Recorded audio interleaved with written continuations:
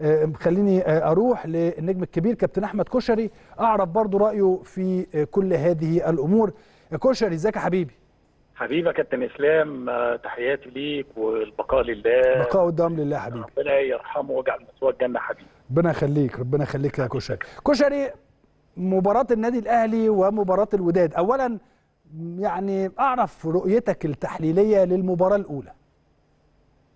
بص يا كابتن اسلام النادي الاهلي قدم مباراه صراحة مباراه هايله جدا وعمل آه، خلق فرص كتيره قوي.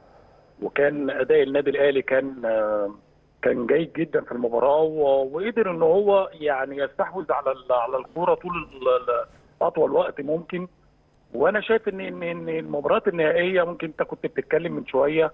أنا يمكن الكلام ده كان في مداخلة أحد المداخلة ليا في بعض القنوات. قلت أيوة. لهم إن إن ال- النهائي مش المباراة الأولى بس. وارد. إن أنت ما تعملش نتيجة آه، يعني تعجبنا أو تقنعنا وتروح هناك تخلص. زي ما حصل قبل كده أعتقد في 82 آه، لما الأهلي كسب كوتوكو تعادل هنا وراح آه، تعادل ايجابيا هناك. أيوه. وماتش الصفاقس وتقريبا أنت كنت بتلعب المباراة. أيوه. تعادل هنا وكسبنا هناك. ده إحساس. إن ال- المباراة إن شاء الله بإذن الله هتكون من نصيبنا هناك لأن الأهلي يملك فرصتين يا إسلام. الأهلي آه، عنده فرصة إن هو يتعادل أو يفوز لكن فريق ال- الوداد عنده فرصة واحدة بس إن هو لازم يفوز فبالتالي الفرص أنا شايف الفرص متساويه النادي الأهلي عنده من الخبرات ومن اللعيبة اللي بتهدف اللي تقدر تسجل للنادي الأهلي في أي وقت. عندك لعيبة متميزين جدا في الخط الأمامي عندك آه، برساو كهربا عندك آه، حسين الشحات عندك عبد القادر شريف كلهم لعيبة هدافين بجانب الكور الثابتة اللي يتميز بيها حمدي فتحي ومحمد عبد المنعم وياسر إبراهيم. فبالتالي أنا مش شايف يعني يعني آه النتيجه كنا نمني النفس إن هي تكون أفضل من كده لكن خلي بالك ده نهائي 50 50 في المباراتين. برافو عليك. وأنت هتروح هتروح هناك هتروح هناك هو هيبقى برضه مضغوط ومستعجل. والنادي الأهلي عنده خبرات وإحنا لعبنا فريق الرجاء هنا وعرفنا إن إحنا هناك نعمل نتيجة كويسة وكنا راكبين الجيم برضه. يعني مم.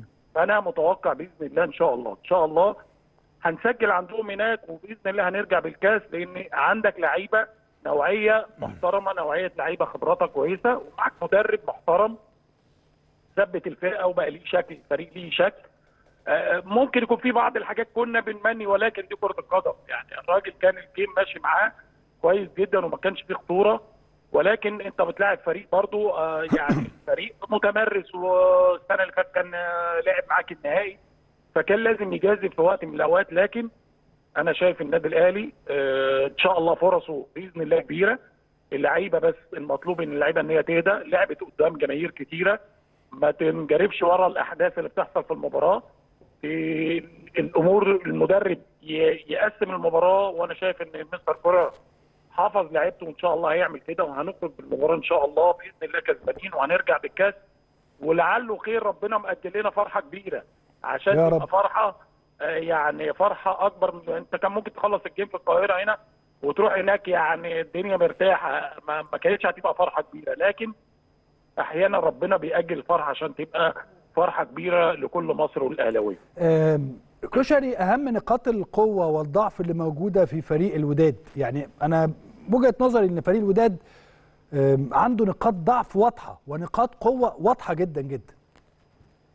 بص يا كابتن إسلام فريق الوداد من الفرق اللي هي بتتميز بالكور ال- ال- ال- يعني الكور الثابتة والكور العرضية. هي دي أميز حاجة عندهم. عندهم آه، بيلعبوا على ال- ال- ال- المهاجم طبعا بتاعهم آه، يعني بيسندوا عليه كتير ودي لازم وده اللي حصل في الماتش الأولاني. بيعملوا عرضيات كتيرة لازم آه، مستر الكوره أو مستر الكوره لازم يقفل ال- الجناب ليهم ما يخليهمش يرفعوا من مسافات قريبة.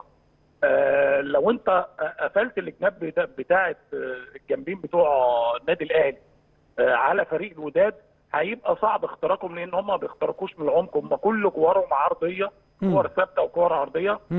ودي أكيد الراجل حافظ ومعاه فريق تحليل وهيشوفوا اللعيبة هتشوف الكلام ده في الفيديو فلو النادي الأهلي لعب بالطريقة بتاعته اللي هي 4 3 3 مم.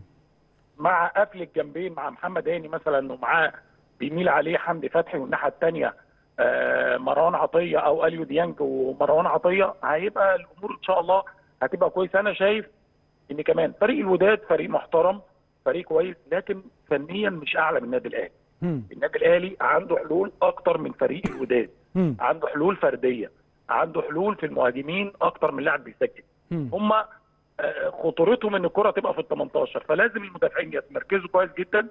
يبقى في تمركز كويس من علي معلول آه، لأن الماتش اللي فات بعض الحاجات علي كان بيعتمد على إن الكوره هيطلعها عبد المنعم ياسر إبراهيم. في كوره كانت خطر اللي شالها شوبير. فبالتالي التمركز ال- الجيد من الدفاع والكثافة العددية آه.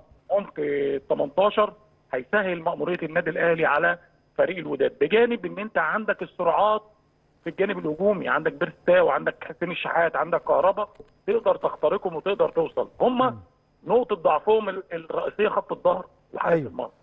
خط الظهر عشان كده كانوا مقربين عشان كده كانوا مقربين جدا في آه، المباراة الأولى. كانوا يعني خط الدفاع كان قريب جدا من حارس يعني المرمى من حارس. المرمى وأيضا كان وسط الوسط كان قريب من خط الدفاع حتى المهاجم بتاعهم ما شفناهوش غير مع نص الشوط الثاني مثلا يعني الكرة اللي هي الكور الطولية وفي الكور الحاجات اللي أنت. بتقول عليها دي اللي هو دي طريقة الكابتن يعني مش قصدي لكن كابتن طارق العشري لما كان في أيوة. حرس الحدود على forward ويسند له. تفتكر كان أحمد عبد الغني بيلعب آه، راس حربة كانت أيوة. بتتلعب له كرة طويلة ينزلها يا إما لعبد السلام نجاح أو لأحمد عيد واحد من الاثنين هم اللي كانوا بيجيبوا الاجوان ودي الكرة اللي شالها مصطفى شوبير.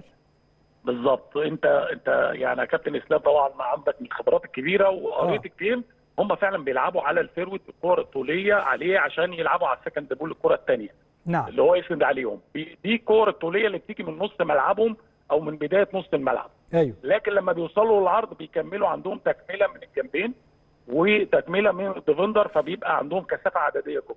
إحنا شفنا المباراة الأولى يعني الهدف اللي جه فينا بعض يعني هنقول إيه يعني لازم تركيز اللعيب يبقى عالي إن دي مباراة نهائية. لازم كان ال defenderات كان حمدي فتحي يرد في المكان ده اللي دخل فيه الجول مع طبعا بداية الهجمة هنقول محمد عبد المنعم آه، عمل واحدة بس في الآخر هي الكرة اتقطعت في نص ملعبه. رجعت لعلي معلول كان يقدر التشتيت يبقى أفضل ولكن كرة القدم بيحصل فيها حاجات غير متوقعة. يعني ممكن تبقى انت عامل game كبير ومش في حالتك أو مش موفق. صحيح صحيح. اللعيبة في اليوم ده أنا واثق اللعيبة هتبقى مركزة جدا والنادي الأهلي لما بيدافع بيدافع كويس. و... و... وعندك كمان لعيبة تطلع عليهم مش موجودة في فريق الوداد. عندك حسين الشحات أنا شايف حسين الشحات من أهم اللعيبة في النادي الأهلي اللي بيقف على. الكوره في الست الهجومي الأخير. والكلام ده أنا كنت بقوله على حسين والناس كانت بتهاجمه. كنت بقول أفضل وأهم لاعب مؤثر في النادي الأهلي هو حسين الشحات. آه، النهارده حسين الشحات بان يعني آه، يعني الناس آه، خدت بالها بقى إن حسين الشحات وجوده في الملعب مؤثر جدا لعيب عنده خبرات من نوعيه اللعيبة اللي هي زي وليد صلاح دي اللي بيعرف يقف في ال 18 وبيتقل على الكوره ودي مش موجودة في لعيبة كتير في مصر مع. بيرساو اللي فايق جدا مع كهربا أو شريف اللي هم عندهم سرعات ودايما متواجدين وبيشاركوا في كل كره فأنا شايف إن النادي الأهلي إن شاء الله بإذن الله الناس تتفائل خير. أنا متفائل خير. النادي الأهلي بإذن الله هنكسب هناك إن شاء الله وهنخرج بنتيجة إيجابية وهنجيب الكاس. بس الناس تهدى. الجمهور زي جمهور الأهلي معودنا في ظهر اللعيبة. أيوه. نتفائل أيوه. نهدى على اللعيبة. وإن شاء الله بإذن الله إن شاء الله يا إسلام هنرجع فرحانين وهنرجع بالكاس وهيبقى نصر كبير للنادي الأهلي. لأن الأهلي يستحق. لأن ده النهائي ال- الفير اللي هو انت لعبت مباراتين على ملعبك. عكس الموسم اللي فات اللي حصل فيه. فإن شاء الله النادي الأهلي قادر ولعبته قادرة بس نتمنى الهدوء والإعلام والجماهير ما تضغطش اللعيبة وما تخافش اللعيبة. إحنا جمهور أكبر جمهور في الوطن العربي وأكبر نادي في, العالم. عايزين عندنا ثقة في لعيبتنا وإن شاء الله اللعيبة كلنا ثقة وكلنا دعم ليهم وبإذن الله هنرجع بالكأس يا اسلام إن شاء الله. يا رب إن لانك شاء عندك الله. مفاتيح كتيرة في النادي الأهلي وقت الجد بيظهر معدن لعيب النادي الاهلي واذكرك بمباريات كتيرة قلت لك مباراه افريقيا ومباراه الهلال السعودي اللي كان كل الدنيا بتقول الهلال السعودي هيكسبنا كسبنا 4-0 فأنت عندك فريق قادر على إنه يجيب لك بطولات وإن شاء الله الجيل ده هيفرح مصر كلها. أنا بشكرك جدا كابتن أحمد على وجودك معانا النجم الكبير كابتن أحمد كشري.